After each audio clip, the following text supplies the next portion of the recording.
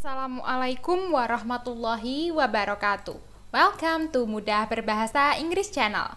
Kita ada di pelajaran paling terakhir nih di Bahasa dan Sastra Inggris Lintas Minat kelas 11 semester 2 yaitu tentang hortatory exposition. Setelah di video kemarin kita membahas tentang the genre of the text about hortatory exposition, termasuk bedanya dengan analytical exposition. Miss akan link videonya di kanan atas ya, baik yang pembahasan tentang genre eh, hortatory sama genre analytical dan juga nanti di description box ada link videonya. Kalau kalian penasaran mau lihat, Nah, kali ini kita akan bahas tentang kemarin pokok pentingnya dari hortatory exposition yang membedakan dengan analytical exposition adalah part recommendation. Sekarang kita akan bahas gimana sih cara menulis rekomendasi yang baik. Nah, kalau udah penasaran, yuk kita mulai aja videonya. Sekarang kita bahas yuk gimana sih jadi cara menuliskan recommendation. Nah, cara menulis recommendations itu ada dua cara. Yang pertama kita use what is called as models. Kalau kalian ingat models for recommendation dulu di kelas 10 pernah uh, sudah pernah diajarkan ya, misalkan link videonya di card kanan atas dan description box kalau kalian lupa. Kita paling sering pakai models should untuk menyatakan recommendation. Um, tapi mungkin di beberapa atau di sekolah kalian ada yang gurunya ngajarin pakai auto atau pakai head better juga bisa. Cuman yang paling common adalah pakai should untuk menyatakan recommendation. Rumusnya seperti apa? Yang pertama, should models apa pun itu harus diikutin verb tipe pertama. Jadi bisa kalimat terus should verb 1. Atau kalau untuk menyatakan yang negatif, jadi should dimasukkan notnya dulu setelah should baru diikuti verb 1, should not verb 1. Ini untuk konteks present time. Untuk yang menyatakan keadaan saat ini. Tapi kalau kita mau menyatakannya yang past time, rujukannya kita adalah masa lampau, shootnya ini, shoot ini um, sebenarnya sudah bentuk pas dari shell gitu ya. Tapi kita mau present mau pas uh, khusus untuk recommendation kita tetap pakai shoot gitu loh. Nah, kalau mau jadi pas, kita pakainya should ditambah be ditambah past participle atau verb tipe ketiga. Should be verb 3. Should be done misalnya. Should be given. Nah itu merujuk ke past time.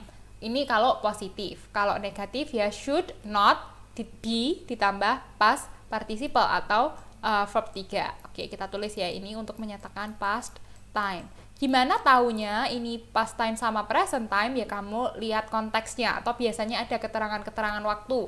Kalau misal ada kata ago, yesterday dan lain sebagainya itu pasti pakai yang ini. Kalau positif berarti pakai yang ini, yang negatif berarti tinggal ditambah not aja setelah kata should. Prinsipnya seperti itu.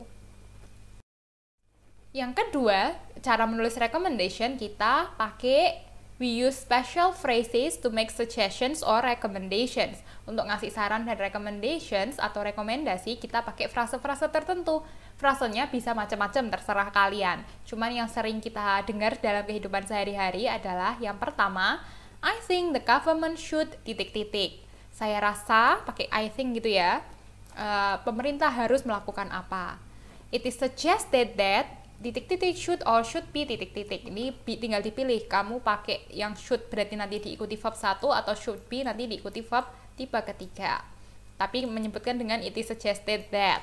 Ini kalau formal writing biasanya pakai yang ini. It is suggested that I rec recommend that titik-titik should not or should not be titik-titik. Saya merekomendasikan. I appeal you that titik-titik should or should not sama ya. Jadi I think, I recommend, I appeal. Nah, sekarang kita bahas yuk bedanya subjektif sama objective writing. Apa itu? Jadi, subjective writing as its name subjective itu intinya adalah authors clearly state uh, their opinion rather than just giving a general overview of the situation. Namanya juga subjektif. Subjektif itu berdasarkan pendapat penulis. Jadi isinya adalah opini dari penulis dan itu bisa beda-beda setiap orang dan nggak apa-apa gitu ya kalau uh, pendapat satu orang dengan yang lain itu berbeda. Itu yang namanya subjective writing.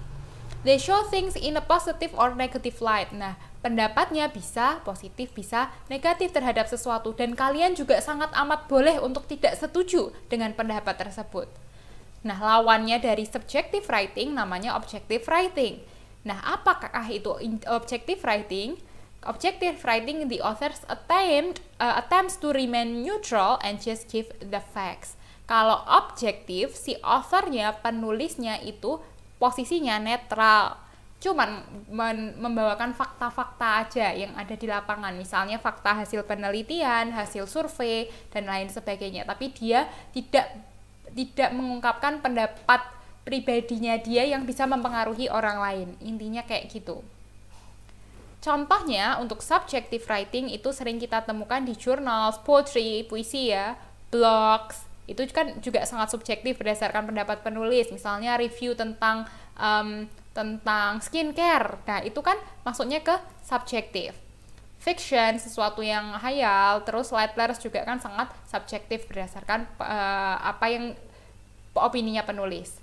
Kalau objective writing itu biasa kita temukan dalam news, Eh, berita, newspaper, koran, non-fiction writing, tulisan-tulisan yang non-fiksi, terus history books pasti berdasarkan fakta dong, sama encyclopedias itu juga pasti berdasarkan fakta-fakta. Jadi penulis sifatnya adalah netral. Subjective writings comes from the inside of the mind. Oke, okay. Subjektif itu berdasarkan hasil pemikiran. It reflects your personal opinion and therefore you will probably be using the word I or we quite frequently. Nah, karena ini berdasarkan pikiran yang pikiran penulis, jadi si penulis itu akan sering nyebut pakai kata I sama kata we. Contohnya, hortatory exposition juga termasuk ke subjective writing. Karena banyak pasti nanti dia me me mengungkapkan opini-opini atau bentuknya argumen-argumen dan nanti ngasih rekomendasi itu kan berdasarkan hasil pemikiran dia sendiri. Jadi kita pasti akan sering melihat kata-kata in my opinion, as far as I'm concerned, I think, I believe that, I feel that, we suggest that di dalam teks-teks yang subjective writing, termasuk ke teks hortatory exposition. Well students, this is the last video of Bahasa dan Sastra Inggris Lintas Minat kelas 11 selama satu tahun ini. Oke, okay, ini video paling terakhirnya. Um, there is no word to describe my thankfulness to you who are with me since day one. Thank you so much karena kalian um, udah rajin nontonin video-video Miss uh, dari awal PJJ gitu ya. Um, dan mungkin ada yang baru subscribe juga, terima kasih banyak udah nontonin video-video ini and thanks for bearing with me during this year because this is not uh, an easy year for you and also for the teachers. I hope my videos are helpful. Semoga membantu video-videonya and see you see your success really really soon. I really hope you will find a very much great success because you can adapt uh, with the change that is moving very quickly dengan perubahan yang segitu cepatnya. I do apologize for mistakes I made. Uh, video-video uh, Miss sangat tidak sempurna, pasti banyak kurangnya dan banyak salahnya. Mohon dimaafkan kalau banyak salah dan kurangnya. And I hope you have a wonderful day and I'll, I shall speak to you all very soon. Goodbye students. Wassalamualaikum warahmatullahi wabarakatuh.